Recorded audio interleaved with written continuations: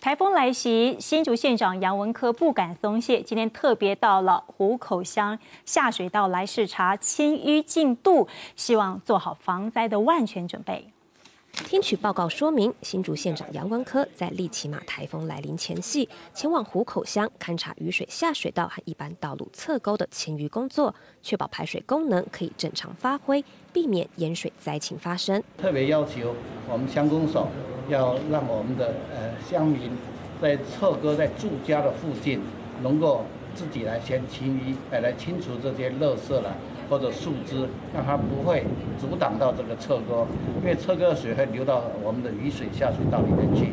了解完下水道清淤情况，杨文科也前往沟背水门视察，由相关人员进行水门开启和关闭的演练，确保机组在定期保养下可以正常操作。达到防洪效果。我们主要看的话是我们的电动的水门的操作是不是呃没有问题哈？我想这是非常重要的。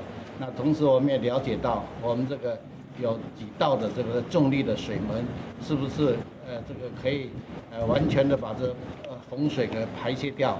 那今天看的结果情况是非常的不错啊。面对台风季节，杨文科勉励同仁做好万全准备，以保障全体县民的生命财产安全。